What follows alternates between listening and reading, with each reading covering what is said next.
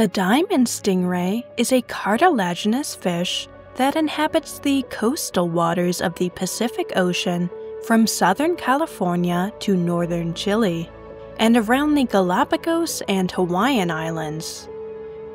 These rays are bottom dwellers, moving along the seafloor in sandy or muddy areas near rocky reefs or kelp forests.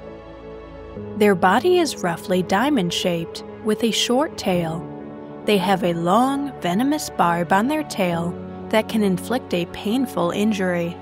Respiratory openings, called spiracles, are located next to their eyes, while their mouth and gills are located on their underside.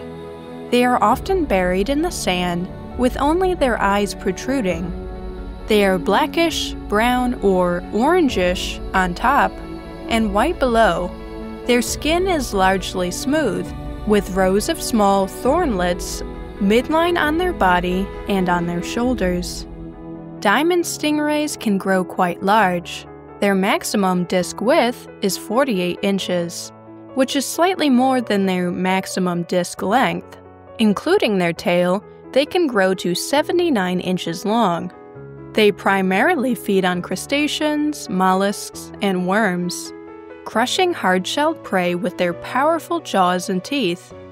Female diamond stingrays give live birth to one to four pups annually.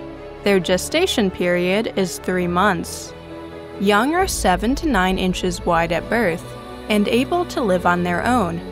Their maximum age is thought to be 28 years. They are fished in some areas for consumption. For more marine facts, click the subscribe button.